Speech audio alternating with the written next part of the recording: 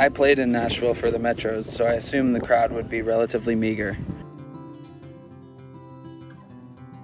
I can remember sitting in the house that myself and four or five other players lived in, and it was quiet that night before the game. We didn't really know each other, and we hadn't been in town that long, so everything was moving quite quickly. I think we all knew the club's ambition is everything that was being done was done very well, so the feeling of professionalism was great.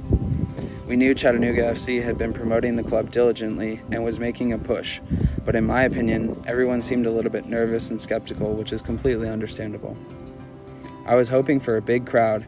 I wanted the best experience possible, so there was a lot of talk on the size of the crowd right up until we started to warm up. There was a unique hype and buzz around the city as we were leading into the first game.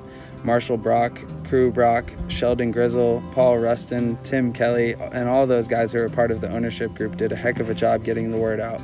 The grassroots marketing efforts were textbook, and they utilized fantastic relationships they had in the city and with youth soccer organizations to get the entire community thinking about CFC.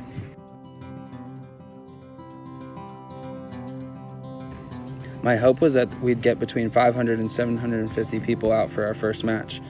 We honestly thought family and close friends were going to be the only people in attendance.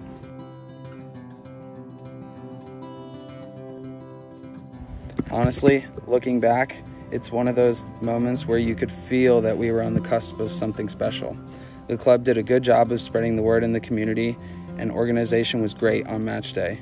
It felt special bringing soccer to Chattanooga.